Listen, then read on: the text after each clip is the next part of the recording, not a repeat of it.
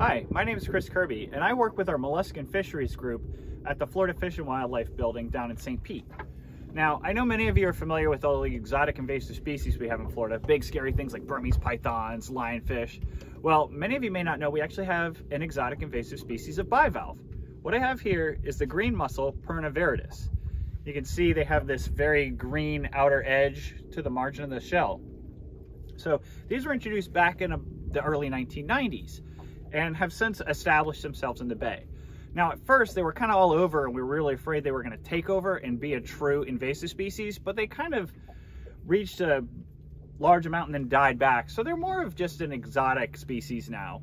But these ones we've removed and are actually going to take back to our lab to feed to snails we're studying.